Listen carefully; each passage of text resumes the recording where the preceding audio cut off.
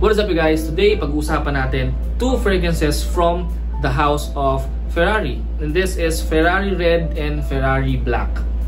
So today, it's a car maker perfume. I have two of them right here. This was sent to me by a store named Perfume Rock PH on Instagram. They sent this over to me so I can review them and share them to you. So let's start with the red. This one is uh, Ferrari Scuderia. Uh, Scuderia Ferrari uh, Red Eau Toilette. Okay, so the notes are bergamot, we have lemon, we have orange, galbanium, petitgrain, and mint. For the mid, we have jasmine, geranium, nutmeg, and orris, and moss, sandalwood, cedar, and vanilla at the base.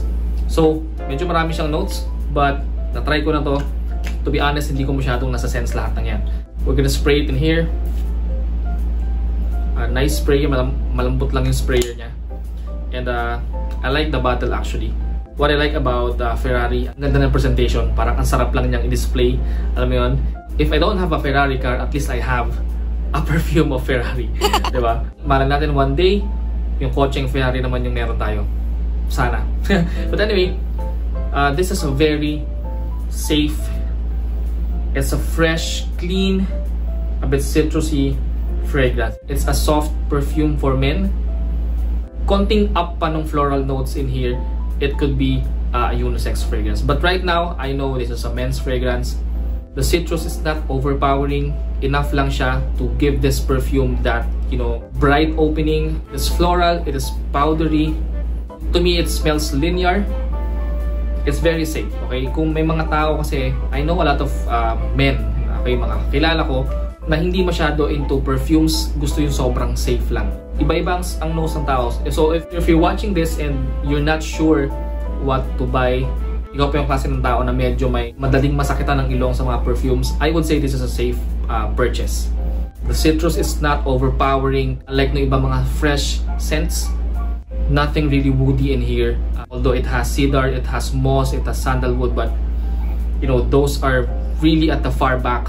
If you don't really want to spend a lot uh, of money to get a perfume, uh, this one is a really good option for you.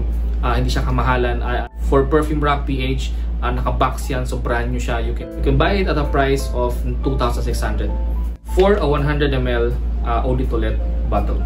So, uh, ako, I enjoy having this on my uh, on my uh, shelf of uh, you know collections. Uh, ganda lang, ang ganda lang ng tingnan, no? And of course, the logo of uh, Ferrari in here. Performance is not uh, the best. It stays on my skin for around 4 hours only, and which is normal for most perfumes.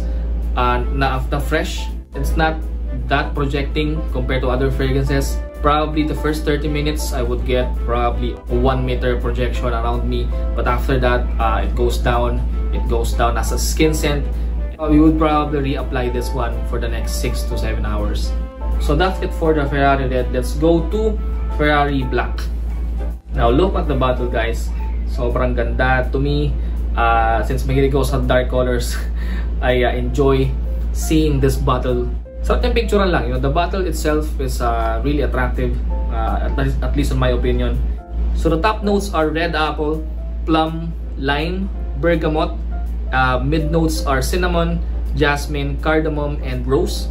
And for the base notes, we have vanilla, amber, musk, and cedar. So, again, let's spray on our skin. Mga Ferrari, ang ganda ng sprayer, ang lambot.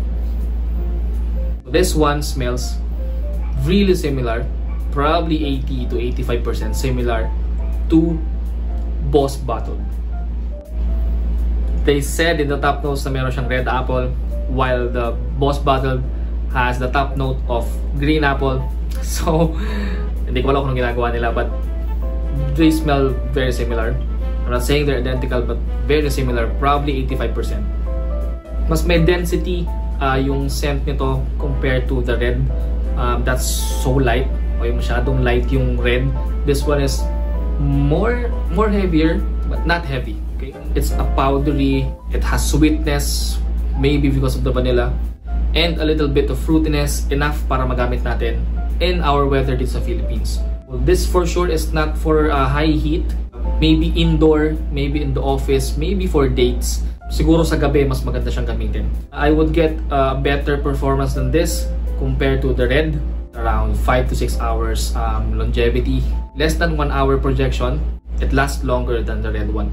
And this one is suitable for our own cold weather sa Philippines. And again, you can buy this at the same price around 2,300 to 2,600 at Perfume Rack PH on Instagram. Again, the link is in the description. So, you can browse their um, website. Marami silang perfumes doon uh, ranging from 2,300 to 3,000 uh, compared to mall prices na around 5 to 6,000. So, that's around 50% um, less. So, for you guys na nakapag-try na, what are your thoughts about these perfumes? And, and is it something that you would buy? Let me know in the comment section. And again guys, thank you for watching. See ya!